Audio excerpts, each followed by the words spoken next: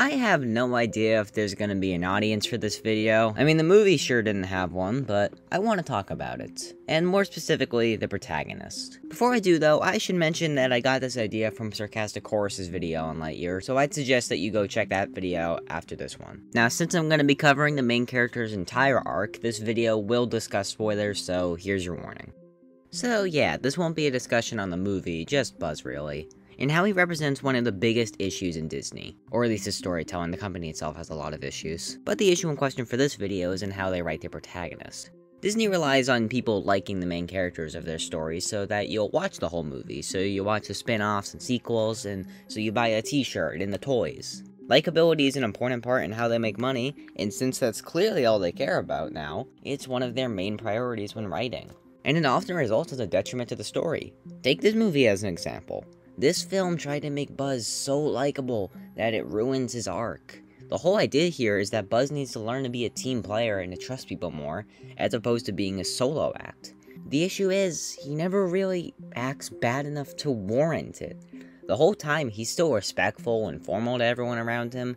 At most, he's a bit passive aggressive. His character flaw of not wanting to work together isn't him going like, I am the greatest, no one can match my level, they'll only slow me down.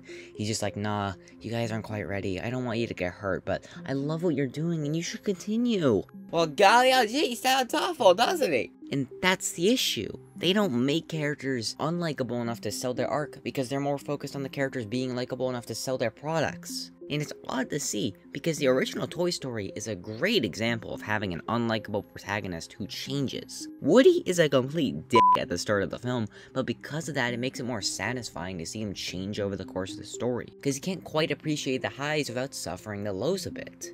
Needs to actually be arrogant enough to warrant this arc, and he can't already have a teammate if the lesson is to be a team player, and it doesn't help that only one of his new team members actually matters to the story you can completely delete Thing 1 and Thing 2 and absolutely nothing will change about the movie besides their runtime. They are unnecessary accessories to an already unnecessary movie which has a main character go through an unnecessary arc. Because that's the most important factor here.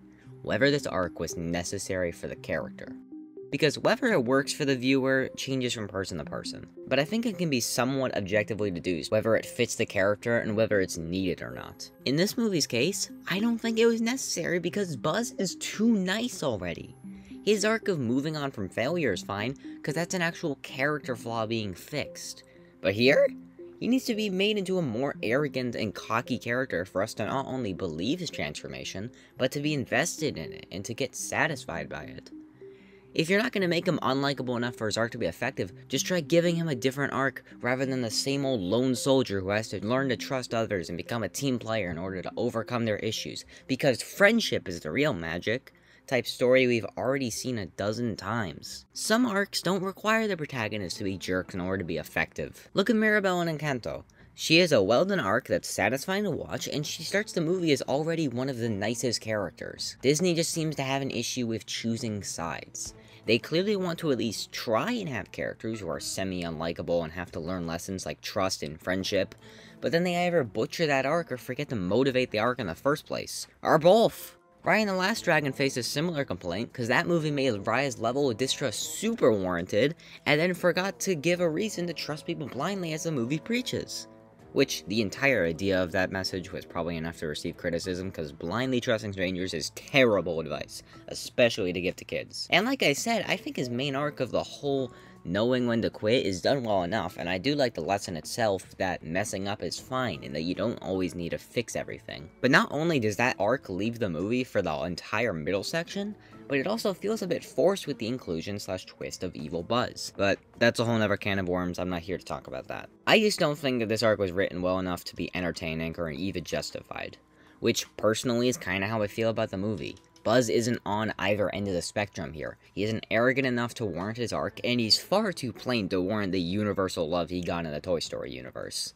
Like, this generic, formal, non-charismatic guy really was so appealing to kids in universe that entire aisles of his figures were made, as opposed to, say, Sox, who's not only the best marketing opportunity in the film, but also just the best character, and that's a fact. I mean, clearly this movie wasn't trying to actually emulate a space action movie made in the 90s. That was really just an excuse for the movie to exist.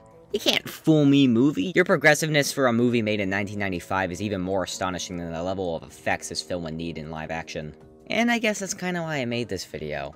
I'm not here to persuade anyone. If you liked the film, then that's totally fine. I can see what you might like about it. I liked plenty of it myself, but I can just admit that overall it wasn't my thing. I'm just a bit disappointed because I think this movie could have been a great spoof of 90s space action movies, and Right now, it just feels like a movie made today that was labeled as an in-universe film from a whole nother decade just because Pixar was afraid of making something unconnected to an established money-making IP. And that's how I feel about Buzz's arc. Missed potential that, while not awful or insulting, just feels like it didn't need to exist. Guess that's all I have to say.